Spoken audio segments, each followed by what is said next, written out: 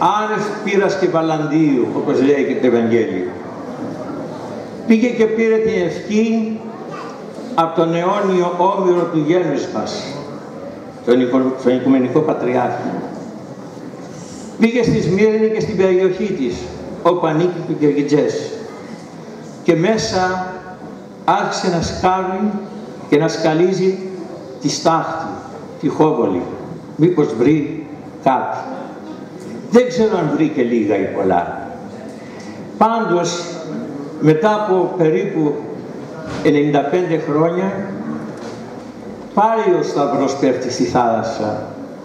Πάλι ο επιτάφιος γυρίζει τα σοκάκια τα Ιβουκόλου. Πάλι χτυπάει η καμπάνα του Αγίου Βουκόλου. Πάλι χτυπάει η καμπάνα της Αγίας Ποτινής.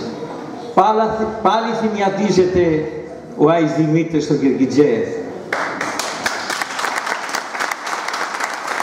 Την ελιά εκείνη και έξω από, τη, έξω από την πόρτα της εκκλησιάς είναι μια ελιά, είπε προηγουμένως ο πρόεδρος.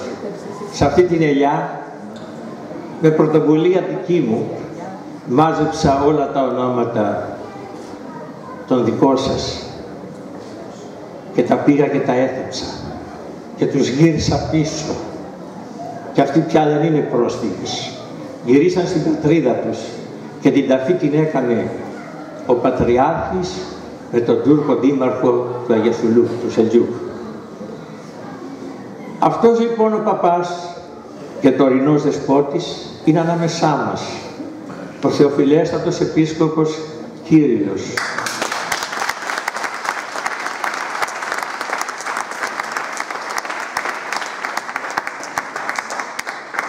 Η Εκκλησία θαρό τον ετίμησε. Δεν ξέρω η πολιτεία και ο πνευματικός μας κόσμος αν το κάνει το ίδιο.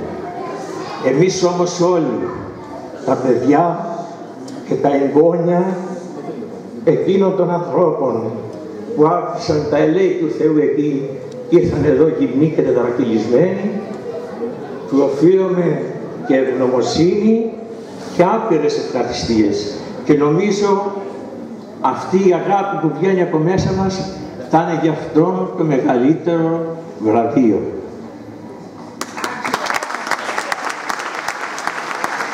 Και έτσι λοιπόν και η Σμύρνη και η Ιωνία στην περιοχή της οποίας ανήκει ο Κυρκιτζές, η Έφεσος, η κοιτίδα όχι ενός πολιτισμού, του πολιτισμού του κόσμου ολοκλήρου. Εκεί γεννήθηκαν όλα εκείνα τα μεγάλα και θαυμαστά για να μην τα παριθμίσω γιατί θα σας πάω και τη χώρα.